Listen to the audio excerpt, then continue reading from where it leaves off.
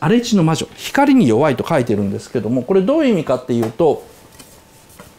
荒地の魔女ねあの一番最初に登場するシーンがこの上の2つです。一番最初からこう腰に乗ってるんですね。でこれで太ってるから動かないんだとか思ってる人もいるんですがそうじゃないですよ。光を徹底的に嫌ってると。だから黒いカーテンつけてるんですね。でなんか太ってて不細工だって思っちゃうんですけど実は一番最初に暗がりの中でソフィーの店に来る時にめっちゃくちゃ美人なんですよすごい綺麗でまあまああのでかいはでかいんですけどすごい綺麗なんですけどもところが後にですねこの階段登っていくシーンでこういうふうにぐちゃぐちゃ不細工になると。でこれをですね坂道階段を登ったから疲れて汗かいて不細工になったというふうについつい思っちゃうけど違うんです。宮崎アニメにはですねすごい法則性があります。この魔女は光が弱点なんですね。なのでこの暗いカーテンを引いた腰の中から降りて明るい光の中を歩くことを強要されて坂道を上がっていく時にどんどんどんどん魔力を失っていくんですね。でなのでどんどんどんどん老けていってしまって